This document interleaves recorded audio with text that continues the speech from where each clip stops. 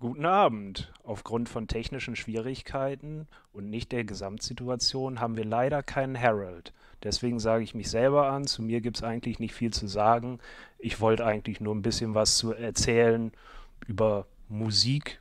Naja, für Hacker vielleicht, also Leute, die unter anderem ganz gerne Code schreiben und nicht nur mit Musikinstrumenten im klassischen Sinne zu tun haben. Also ohne große Vorrede fange ich mal an. Noch funktioniert die Technik bei mir, das ist hervorragend. Mal sehen, wie das sich weiterentwickelt. Also, worum geht das hier eigentlich? Ist eine bestimmte Super Collider ist hier das Mittel der Wahl. Es gibt viele andere Sachen. Der eine oder andere kennt sowas wie Pure Data beispielsweise, Max MSP, ähm, wie auch immer, Chuck, Faust. Ähm, Super Collider ist eine Plattform für Audiosynthese, algorithmische Komposition.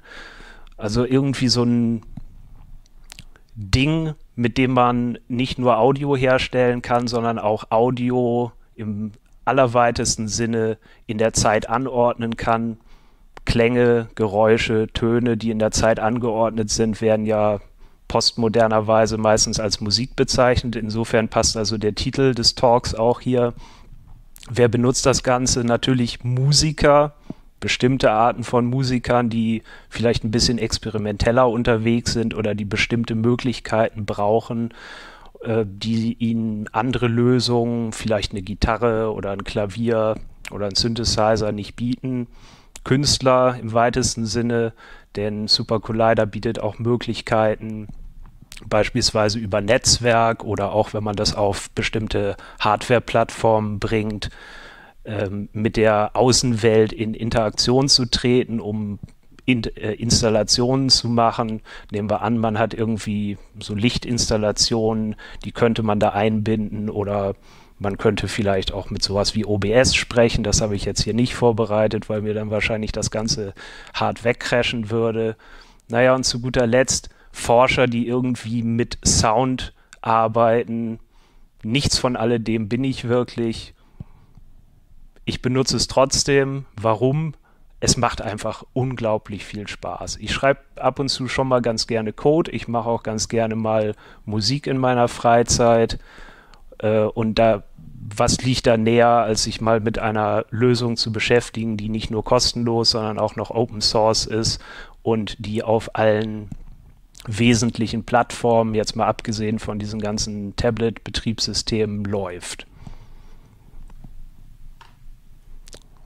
Ganz kurze Einordnung, woraus besteht das eigentlich? Ich habe jetzt mal schamloserweise mich an der Dokumentation bedient, denn die Dokumentation ist richtig gut. Das ist nicht selbstverständlich bei solchen Programmen. Äh, hier ist extrem viel Liebe und Arbeit reingeflossen und es wird sehr gut weitergepflegt. Also ich würde allein wegen der Dokumentation ganz klar empfehlen, wer sich mal mit so programmiertechnischen Ansätzen auseinandersetzen will, um Musik zu machen, um Kunst zu machen, der sollte sich tatsächlich Super Collider anschauen. Ist eine ziemlich modulare Architektur, besteht aus einem Server, genannt SC Synth, das ist ein eigenes Binary, was dann da aufgemacht wird und einer äh, Interpreter-Komponente, die eine bestimmte Programmiersprache, die auch Super Collider heißt, heißt hier alles Super Collider, damit man auch ja nicht durcheinander kommt, äh, interpretiert. Das Ganze ist angebunden über Open Sound Control, OSC, dem einen oder anderen, der sich schon mal so im Musikumfeld mit Elektronik auseinandergesetzt hat, ähm, wird das ein Begriff sein.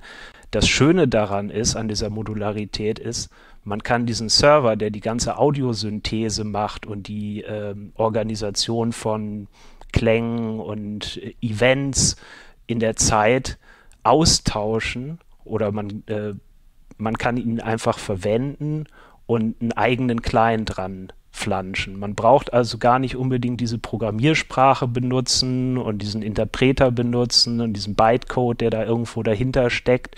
Man kann auch, und das, das wird auch gemacht von manchen Leuten, sagen, oh, ich programmiere gerne in Lisp zum Beispiel und dann baue ich mir irgendwas, was äh, in Lisp eingebettet ist und das spricht dann OSC. Das äh, schickt dann hier die entsprechenden Nachrichten, die der Server versteht. Und der Server äh, macht dann das, was typischerweise relativ unsexy ist bei diesem ganzen Audio-Ding, nämlich die Synthese und vor allen Dingen die Echtzeitverarbeitung.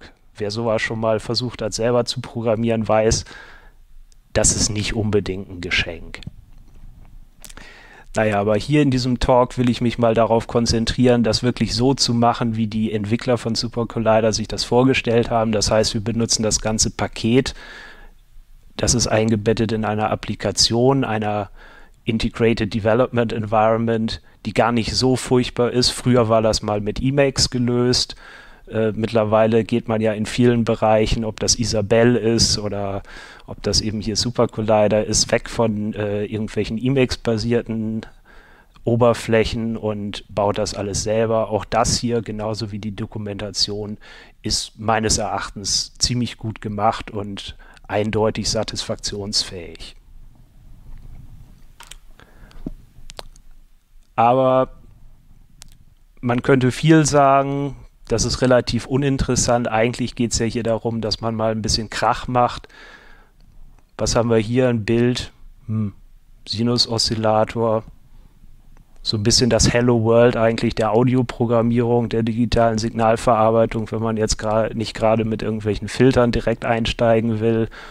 Und den meisten wird das vertraut sein. Da kommt dann, gibt man sowas rein wie eine Amplitude, das heißt also die, die Auslenkung dieser Sinuswelle und eine Frequenz. In diesem Fall wird das dann wahrscheinlich ein Herz sein. Und am Ende kommt dann hier irgendwie so eine Wellenform hinaus. Wie würde das jetzt in Super Collider aussehen? Ungefähr so. Bevor ich jetzt gleich in den hoffentlich funktionierenden Live-Teil des Talks reingehe, erkläre ich mal das hier ganz kurz auch an den Slides. Wir haben hier so einen so Block, der in geschweiften Klammern eingeschlossen ist. Das ist eine Funktion. Der eine oder andere wird sagen, hm, Funktion, anonym deklariert, das ist doch relativ äh, angenehm. Ja, das hat tatsächlich so äh, funktionale Programmierungsanteile hier, diese Sprache was es mir relativ sympathisch macht. Und hier dieses Punkt Play, da wird irgendwie so eine Methode aufgerufen, die diese Funktion mitbringt, die Play heißt. Ah, so ein bisschen objektorientiert ist das offenbar auch. Hier haben wir diesen Sinus-Oszillator, das ist so ein, auch so ein Objekt, so eine Klasse, da wird so eine Methode auch aufgerufen, AR. AR steht für Audio Rate. Da wird also mit der Rate, mit der Audio generiert wird. Typischerweise ist das sowas wie 44,1 Kilohertz oder in diesem Fall, weil wir ja professionelles Broadcasting hier betreiben, 48 Kilohertz ähm, ein Signal generiert und man kann jetzt dieser Methode noch ein paar Argumente übergeben. Da gibt es so eine Keyword-Syntax, die vielleicht auch aus anderen Programmiersprachen bekannt sein könnte. Hier sagt man, hm, da gibt es eine Frequenz, das ist jetzt mal einfach zufälligerweise 230 Hertz und hier gibt es ein Argument, das sagt, ähm, mach das mal bitte nicht so laut, mach das mal mit halber Lautstärke, also nicht gleich Vollstoff auf die Ohren, weil sonst fangen die vielleicht an zu bluten.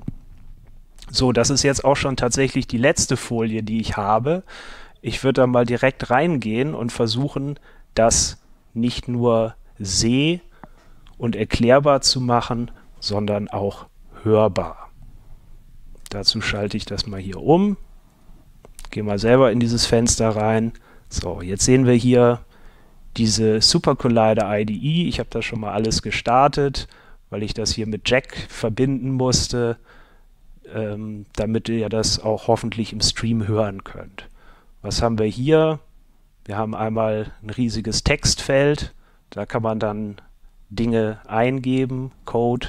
Wir haben hier so einen Help-Browser, da könnte man jetzt irgendwas suchen, weiß ich nicht, wenn man jetzt wissen will, was ist eigentlich dieser Sinus-Oszillator da, hm, gebe ich mal Suchtext ein, Ah, ein interpolierender Sinus Wavetable Oszillator, also wahrscheinlich hohe Qualität. Ha, generiert eine Sinuswelle. Wer hätte das gedacht?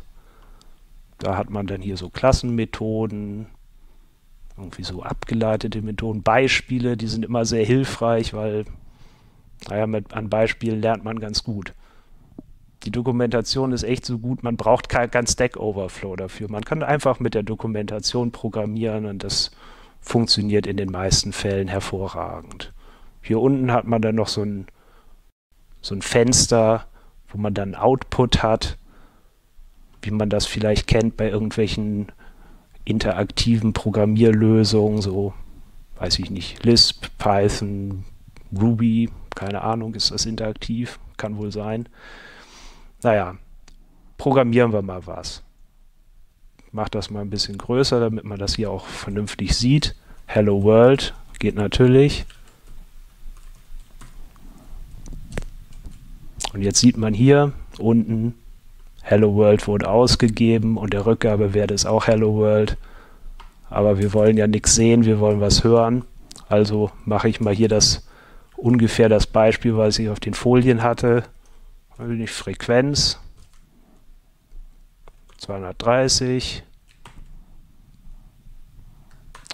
Und jetzt sage ich ihm hier, dupliziere das bitte mal, weil wir sind in Stereo. Normalerweise würde er einfach nur Mono machen. Das heißt, ihr würdet das Signal nur auf einem Kanal hören und das ist relativ unspannend. So, jetzt habe ich hier diese Funktion, die also einen Sound generieren soll. Und jetzt muss ich hier noch sagen, spiel das mal bitte ab. Und jetzt kommt der Moment der Wahrheit, wo es uns dann hoffentlich nicht um die Ohren fliegt. Jetzt müsstet ihr was hören. Ich höre auf jeden Fall was. Ich sehe auch, dass es im Stream rausgeht. Also soll das wohl klappen. Wunderbar. Das möchte aber keiner auf die Dauer hören, weil das relativ uninteressant ist und auch ziemlich nervig und ungesund. Deswegen machen wir was, mal was anderes. Störgeräusche. Vielleicht passt das ja zu dem, was hier im Anschluss noch kommt. Dieser Unit Generator, wie man so im DSP-Sprech sagt, der generiert, wie man hier in der Doku sieht, Random Impulses. Denkt einfach sowas wie Geigerzähler. Und der generiert das so mit so einer Rate von hm, 20. Was auch immer das heißen wird. Wir hören uns das mal an. Hm. Naja. Da hat man auch schon überzeugendere Sachen gehört. Was könnte man denn nochmal mal damit machen? Man könnte vielleicht sagen, ich möchte das Ganze filtern. Hm. Bei so einem Synthesizer würde man jetzt vielleicht sagen, entweder ich habe so eine feste Struktur, alles ist schon vorkonfiguriert, fest verschaltet oder ich habe vielleicht so eine Modulationsmatrix oder ich habe vielleicht ein physikalisches Modularsystem irgendeines Herstellers und kann dann so Kabel reinstecken. Hier macht man das einfach, indem man Funktionsaufrufe äh, verknüpft. Wollen wir schauen wie das aussieht. Hier, das ist so ein Bandpassfilter, da wird also so ein Segment aus dem Audiospektrum rausgefiltert. Das soll jetzt mal hier bei, pff, weiß ich nicht, 600 Hertz liegen. Dann haben wir noch so einen Q-Faktor, das ist so ein bisschen wie schmal eigentlich dieses Band ist. Je schmäler das Band ist, desto tonaler wird das Ganze. Das können wir eigentlich mal ausprobieren. Ich lasse das jetzt mal hier auf dem Default-Wert 1.0 stehen. Und das müsste man jetzt eigentlich auch schon ausführen und hören können. Mhm. Relativ leise das Ganze. Ziemlich weggefiltert. Wir machen das mal schmäler hier, dieses Band. Und vielleicht sollten wir es tatsächlich etwas lauter machen damit man es auch dann hören kann. Naja, gut.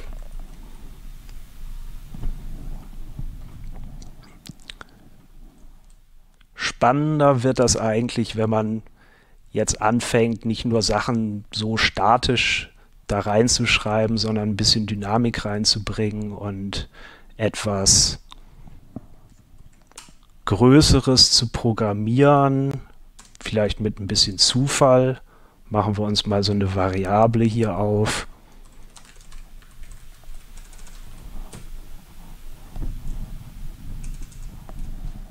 Oder wartet mal einfach. Ich habe das doch alles hier vorbereitet. Ja.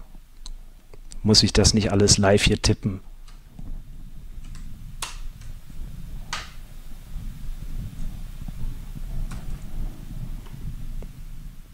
Dieses hier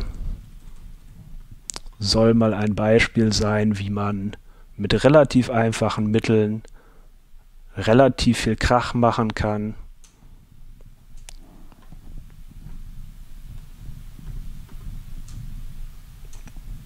So, jetzt kann man das auch hier vernünftig im Stream sehen, hoffentlich. Hier wird jetzt so eine Variable aufgemacht, beschaffen uns mehrere Funktionen. Da wird irgendwie so zufällig so ein so Random Impulses generiert. Die werden dann gefiltert, auch wieder so bei, mit einer zufälligen Frequenz. Und die werden zufällig im Stereospektrum gepannt, also ob die mehr links oder mehr rechts sind. Und das Ganze machen wir dann 23 Mal, weil, Gott, ne, man braucht einfach manchmal so Magic Numbers.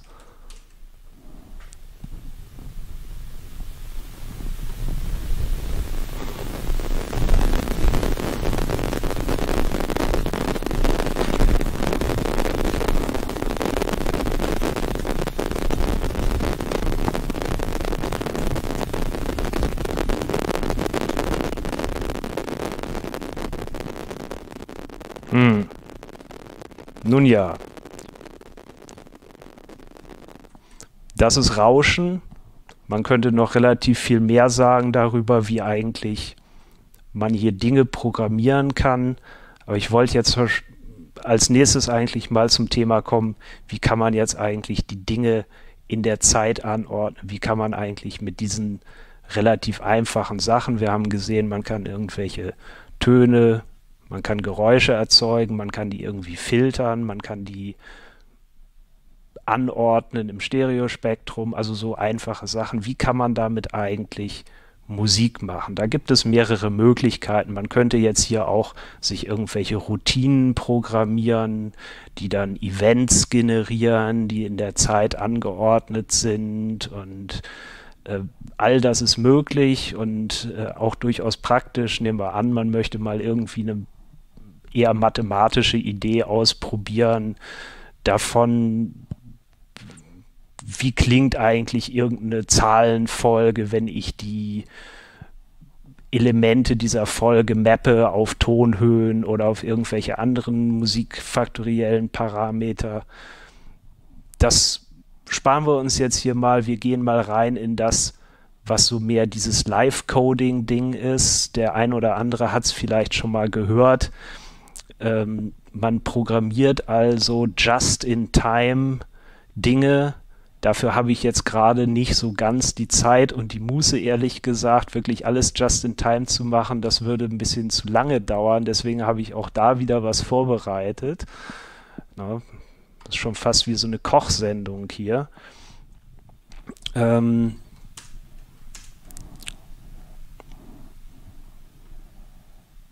mache mir mal hier so einen Mixer auf.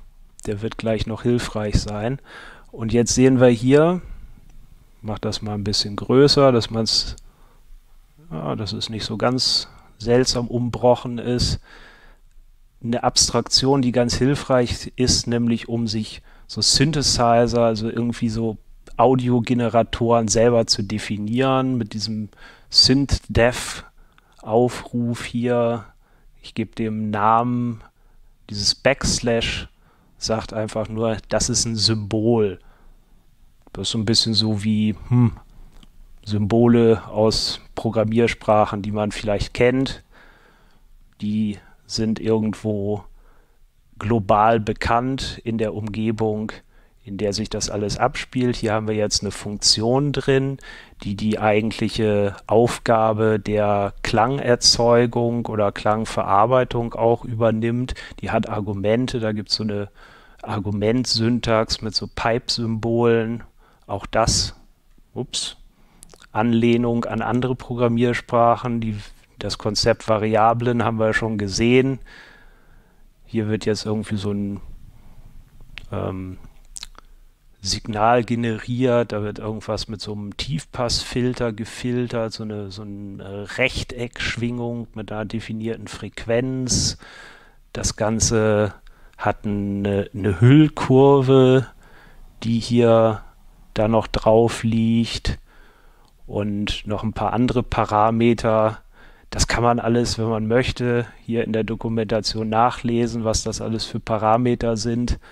Das könnt ihr auch dann mal selber zu Hause machen. Wir haben ja jetzt alle relativ viel Zeit zu Hause. Da ist es doch die ideale Gelegenheit, mal ein bisschen was Neues zu lernen. Und dann haben wir hier noch so eine Hüllkurve für die Lautstärke des Ganzen, so wie man das von einem Synthesizer gewohnt ist. Also ne, irgendwie ein Oszillator, Filter, Filterhüllkurve, Hüllkurve für die Amplitude des Ganzen und am Ende wird es dann ausgegeben, wird noch im Stereospektrum verteilt, Stereopanorama verteilt und dann war es das. No, so relativ einfache Geschichte. Da haben wir noch so ein paar andere Sachen, so eine Art Kickdrum, wie so eine Art Hi-Hat, weiß nicht, vielleicht erkennt ja sogar jemand, die, wo diese Zahlen herkommen. Die sind da die habe ich mir natürlich nicht selber ausgedacht, sondern das ist angelehnt an ein relativ bekanntes Gerät mit einer numerischen Bezeichnung eines japanischen Herstellers. Dann haben wir noch so ein paar andere Instrumente. Naja, das ist so irgendwie so eine Sache, die man dann mal machen kann, wenn man so anfängt. Man definiert sich also erstmal so ein paar Instrumente. Und die muss man jetzt dem Server bekannt machen. Ich führe das aus. Das hat offenbar funktioniert, das ist sehr gut. Die sind jetzt auf dem Server bekannt, die kann ich da, da also dann verwenden. Hier haben wir jetzt noch ein paar Effekte, weil so ganz trocken ist es ja auch blöd. Da haben wir irgendwie so ein Reverb, das mit einer Quellenangabe, wie sich das gehört, einfach mal was nachprogrammiert. Das Schöne, was ich persönlich wirklich an Super Collider extrem genieße, äh, ich sehe irgendwo einen DSP, Effekt, ich sehe irgendwo eine musikalische Idee, die eher technisch beschrieben ist und für meine Begriffe kann ich die hier relativ einfach umsetzen. Die Programmiersprache ist ideal darauf ausgerichtet und die Klassenbibliothek, die dahinter steckt, sowieso solche Dinge zu tun. Man muss sich da nicht großartig verrenken. Wer schon mal ein Reverb von innen gesehen hat, der wird sagen, ach ja, das kommt mir hier so ungefähr bekannt vor. Das ist jetzt ein relativ Standardansatz, um so ein Reverb herzustellen. Da haben wir hier noch irgendwie so ein anderes Reverb. Hm, Sachen, die auskommentiert sind, die können eigentlich weg. Und da ist eine Frage, natürlich in jedem Code stehen auch irgendwie so Fragen drin. Weiß nicht, vielleicht hat jemand die Antwort auf die Frage. Ich glaube, die, die Antwort ist ja, es, es funktioniert. Das ist meistens das Wichtigste. Es geht hier ja nicht darum, dass wir irgendwie äh, Produktionscode generieren, der irgendwo ähm, dazu dient, Geld zu verdienen und Menschen glücklich zu machen, sondern es ist Kunst und man darf wirklich auch Dinge mal so hinschreiben, wie sie einem in den Sinn kommen, ausprobieren und wenn es funktioniert, ist das das Erfolgskriterium, das man da heranziehen möchte. So, jetzt haben wir uns also Dinge definiert. Wir haben Instrumente, Synthesizer, wir haben Effekte und jetzt kommt die Aufgabe, die spannende Aufgabe, wie ordnen wir das eigentlich jetzt an, um damit so eine Art Musik zu machen. Dafür gibt es auch verschiedene Ansätze. Ich habe mal hier den Ansatz gewählt über Patterns. Da gibt es eine reichhaltige Sprache, die Supercollider zur Verfügung stellt. Wir haben hier die Möglichkeit, solche Patterns zu definieren. Wir sagen äh, eigentlich, nimm mal dieses Instrument hier, spiel da mal Tonmaterial aus einer Skala. Das ist jetzt hier der späten vorgerückten Stunde angemessen, ganz einfach. Ne? Moll. Glaube, die häufigste Tonart in Techno ist immer noch A-Moll oder sowas in der Richtung. Ähm, hier haben wir dann zufällige Auswahl von Skalentönen. Da wird so ein Pattern generiert, das sich unendlich oft wiederholt. Dann würfeln wir so ein bisschen mit so einer Normalverteilung, ein Decay-Wert, damit das Ganze ein bisschen aufgelockert ist. Dann haben wir hier noch so ein, so ein Pattern, das sich einfach wiederholt für die Dauern, dass wir so eine ansatzweise wiedererkennbare rhythmische Struktur da drin haben, die nicht komplett gewürfelt ist, weil das ist so eine Sache bei algorithmischer Komposition, wenn man bestimmte Aspekte komplett random würfelt und dann nicht Constraints drauf packt, dann klingt das hinterher oft sehr, sehr seltsam. Deswegen manchmal ist weniger Zufall echt mehr Musik. Und zu guter Letzt sagen wir noch, ah, mach das mal bitte nicht zu laut, mach mal hier nur ein Drittel Lautstärke.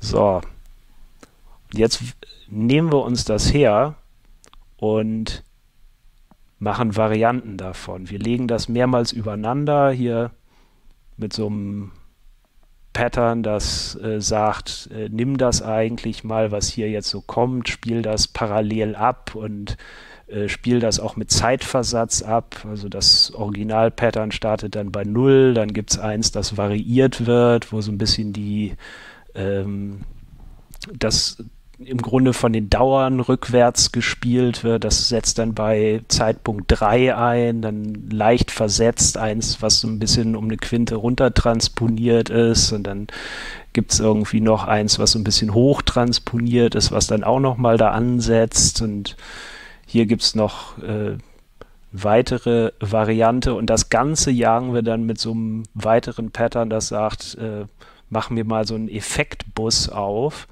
äh, durch diesen, dieses Schimmer-Reverb durch. Ja, und dann haben wir hier eigentlich schon so ein so relativ komplexes Pattern. Dann haben wir noch ein komplett einfaches Pattern, so äh, stumpfe Four on the Floor Bass Drum. Ups. Aber irgendwie noch so ein nicht komplett stumpfes, aber auch nicht wirklich kreatives Hi-Hat-Pattern. Haben wir irgendwie noch so einen Bass. Der ist natürlich auch ungefähr passend vom Tonmaterial her. Und oh, da haben wir noch ein weiteres Pattern hier. So. Wenn ich das jetzt ausführe, sollte ungefähr Folgendes passieren. Es sollte erstmal nichts zu hören sein. Und es kam auch kein Fehler, das ist also sehr gut.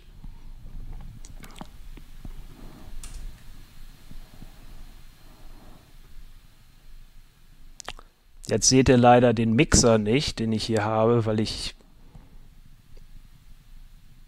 das Fenster streame und nicht dieses andere Fenster. Jetzt müsst ihr euch vorstellen, ich habe hier so einen Mixer, wo diese Patterns angezeigt werden und ich kann die starten, stoppen und in der Lautstärke verändern.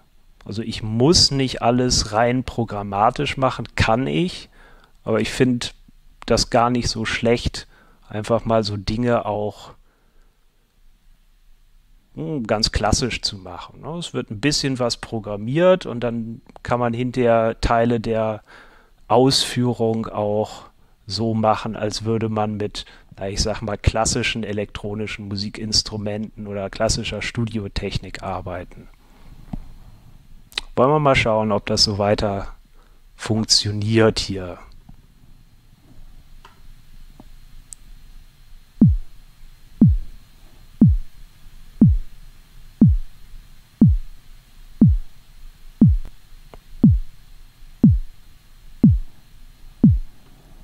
Okay, jetzt haben wir hier so ein relativ einfaches Pattern.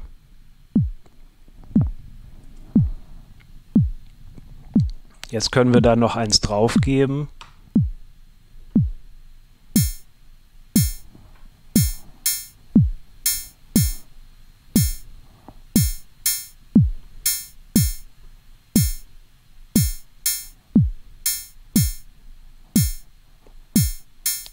Unglaublich spannend.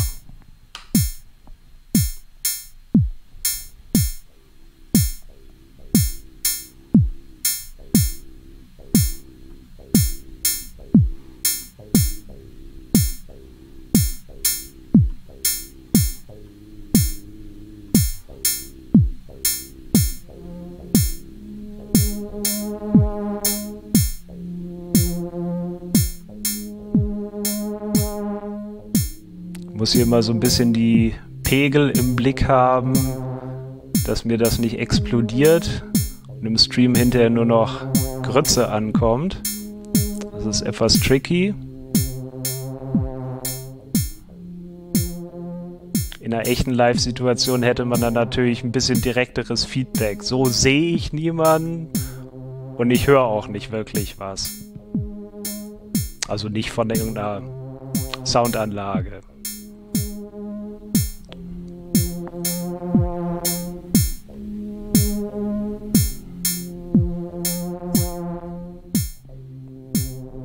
Das Schöne ist, diese Pattern, die sind auch nicht unbedingt statisch, die kann ich auch verändern. Eine einfache Veränderung wäre, ich sag mal hier, ich ändere Cut-off-Frequenz von dem Bass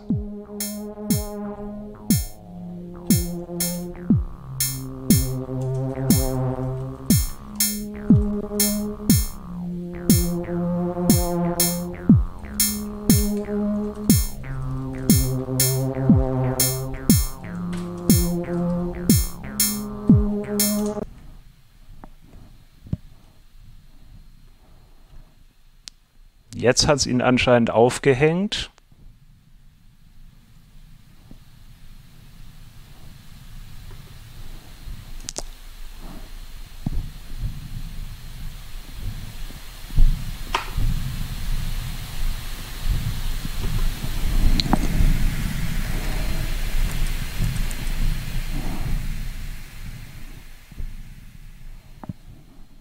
Oh, jetzt bin ich wieder da oder auch nicht. So richtig weiß ich das nicht.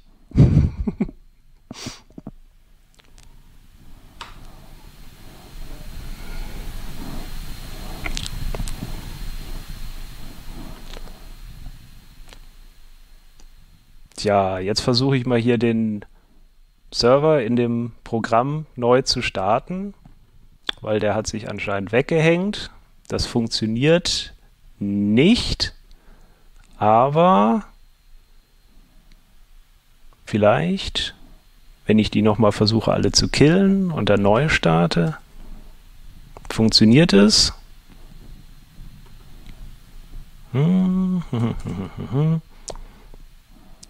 Wahrscheinlich muss ich jetzt hier auch gleich die Verbindung von meinem Jack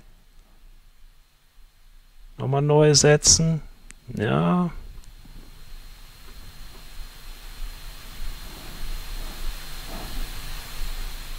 Ja,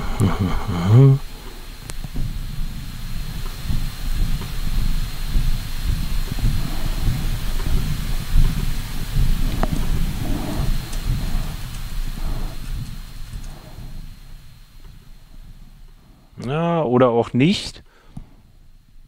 Ich habe so das, den leisen Verdacht, dass das hier gerade auch mit dem OBS sich alles beißt. Ich würde sonst fast mal sagen, lassen wir es dabei bewenden. Hiernach soll ja sowieso irgendwie der Systemabsturz kommen. Vielleicht ist das auch eine ganz passende Überleitung und ich würde dann mal äh, gucken, ob wir irgendwelche Fragen haben. Ich weiß nicht, wie das ohne Harold funktioniert. Hat da irgendjemand Ideen von der Regie?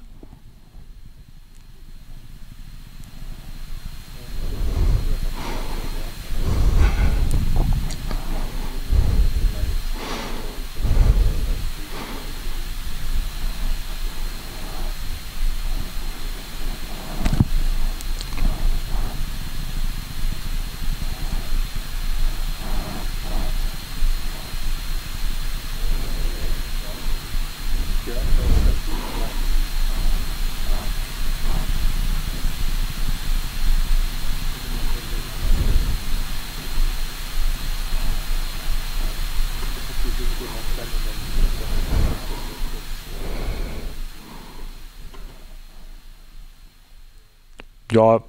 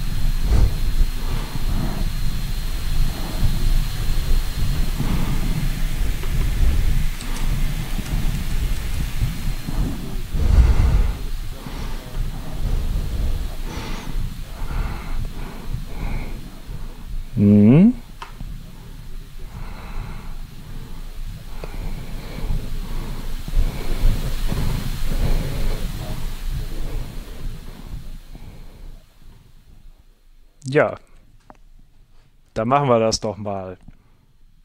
So, ich äh, hoffe, Hi, ich hoffe, ihr könnt mich sehen. Äh, beim Lindwurm gab es technische Probleme. Äh, jetzt äh, springe ich ein und helfe zumindest äh, beim QA von diesem hoffentlich großartigen Vortrag von Semiton. Äh, die erste Frage, die ich habe ähm, aus dem Pad von euch. Ähm, was, sind die, was sind denn die Unterschiede ähm, zu Sonic Pi, äh, zu dem vorgestellten Projekt? Vielleicht einmal kurz, das sind eine ganze Menge Fragen.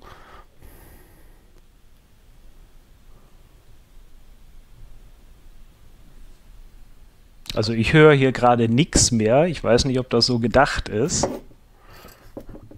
Ah.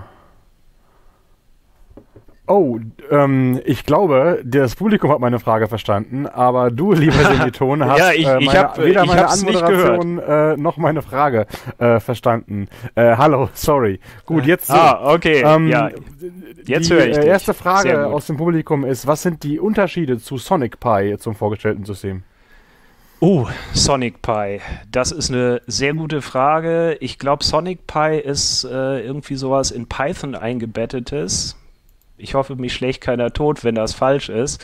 Ich habe mich damit ehrlich gesagt nie auseinandergesetzt mit Sonic Pi. Das ist ein System, das vergleichsweise neu ist, glaube ich. Und äh, irgendwo habe ich mal einen Cut-off gemacht und gesagt, so, ich gucke mir jetzt nicht noch wieder was Neues an. Aber ich glaube, es ist, ist durchaus ähnlich und wahrscheinlich sogar teilweise davon von diesem hier inspiriert, genauso wie diese Super Collider auch äh, von anderen Systemen, die vorher kamen, inspiriert ist. Okay, äh, das Publikum fragt weiterhin, äh, hast du den Code irgendwo veröffentlicht, irgendwo auf einer üblichen Repositories? Man, man will das nicht alles abtippen? ähm, ist nicht veröffentlicht, könnte ich mal äh, machen bei Gelegenheit. Weiß nicht, ob man dann äh, nochmal irgendwo ein URL oder so nachreichen könnte. Müsste ich mir nochmal überlegen, wo ich das am besten hinschmeiße. Im, Im Moment habe ich ein privates Git-Repository da. Mehr auch nicht.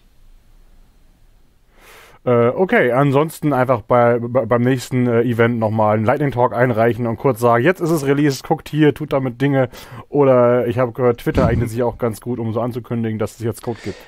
Das äh, ist äh, Twi Twitter gerade äh, gerade ein guter Punkt. Äh, es gibt auf Twitter irgendwie sowas, ähm, dass Leute Super Collider Code als äh, in Twitter-Format auch rausbringen. Das ist relativ interessant.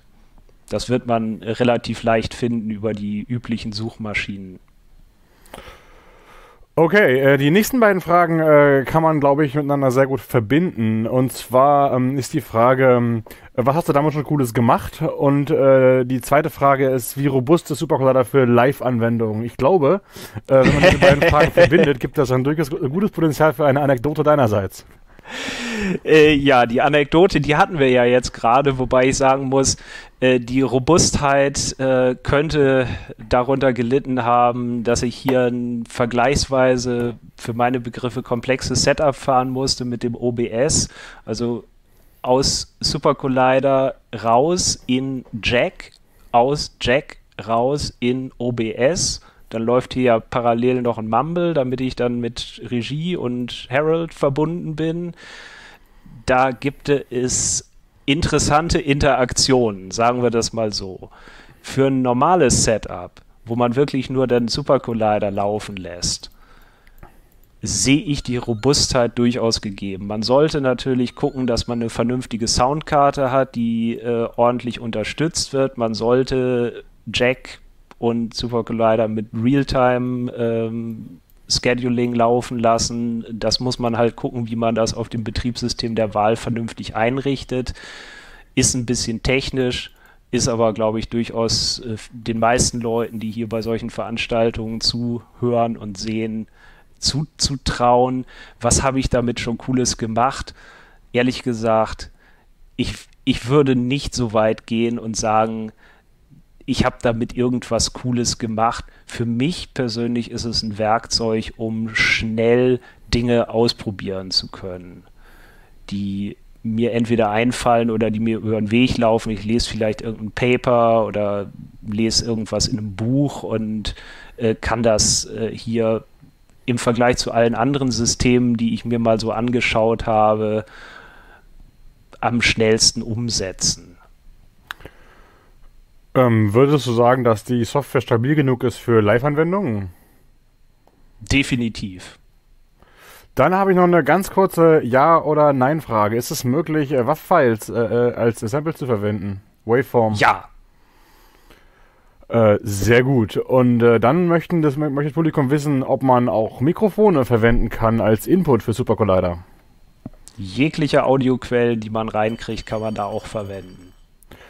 Gut, äh, kommen wir zu den Interfaces. Was geht da? Das Publikum fragt, äh, ob man zum Beispiel äh, MIDI-Geräte oder ähm, USB-Unterstützung für irgendwelche haptischen Interfaces oder ganz fancy Shit. Äh, was, was geht da?